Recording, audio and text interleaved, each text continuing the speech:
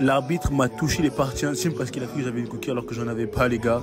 Jour de combat en cage, je vous raconte comment se déroule la journée. Déjà, on commence par la pesée. Dès que la pesée est validée, je mange directement des bonbons, sinon je vais tomber dans les pommes. Ensuite, dès que la pesée est faite, on va directement pour le face-à-face. Le moment où tu dois montrer à l'adversaire que t'es pas là pour jouer avec lui.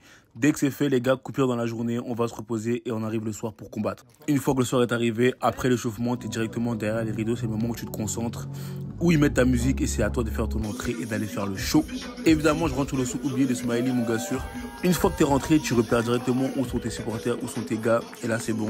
C'est le moment d'aller vers la cage, les gars. Le moment déterminant. Mais avant d'entrer dans la cage, tu dois te faire contrôler par l'arbitre. Du coup, il te demande de te déshabiller. Jusqu'ici, tout est normal. Mais là, je vois qu'il commence à me fouiller. Je comprends pas trop.